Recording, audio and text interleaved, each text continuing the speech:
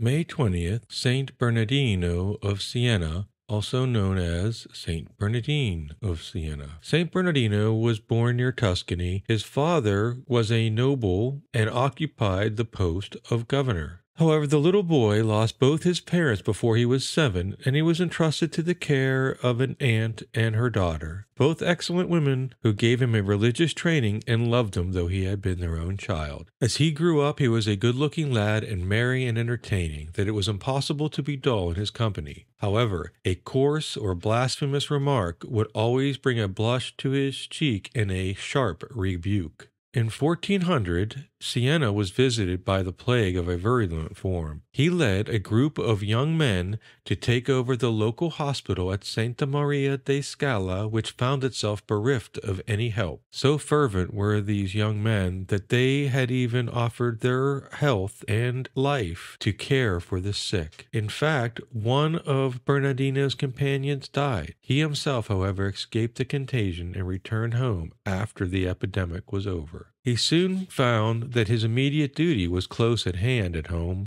An aunt, whom he was much attached, had become blind as well as bedridden, and he to her devoted himself as he had done to the plague stricken in the hospital. After fourteen months, God called the invalid to himself, and it was in the arms of her nephew that she breathed her last. Bernardino then prayed and fasted to learn God's will for his future. He soon found it by entering the Franciscan order, and he received the habit shortly after in Siena. He moved to a convent outside the city where it was more secluded. Here in the year 1403 he professed, and here he was ordained a priest. Then he opened his apostolic career at Milan, to which he went as a complete stranger toward the end of 1417. But soon his eloquence and zeal began to attract enormous congregations. This is miraculous because at first he was hampered in his delivery by hoarseness and an inability to make himself heard. But afterwards, as a result, he firmly relieved of fervent prayer to Our Lady, his voice became singularly clear and penetrating. It is almost impossible to follow all his missionary journeys, for in them he covered nearly the whole of Italy. He always traveled on foot,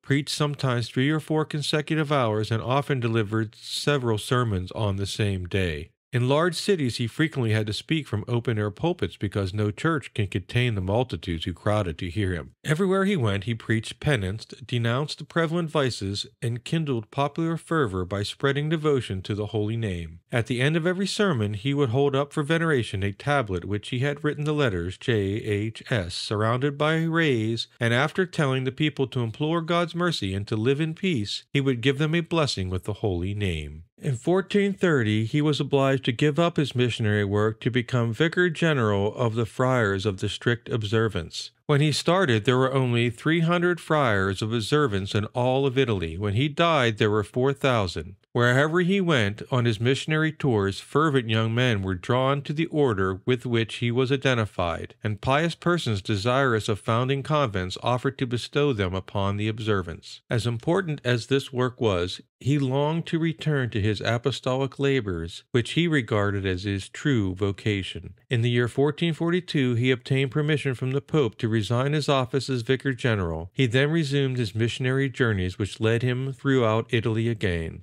He was by this time failing in health, and so emaciated he looked like a skeleton, but the only concession he would allow himself was the use of a donkey to convey him from one place to another. Though obviously dying, he still continued his apostolic work and set out for Naples, preaching as he went. He succeeded in reaching Aquila, but there his strength gave out, and he died on the eve of the Ascension, May 20th, in the year 1444. He had almost reached the age of 64 years, 42 of which he had spent as a religious. His tomb at Aquila was honored by many miracles, and he was canonized within six years of his death.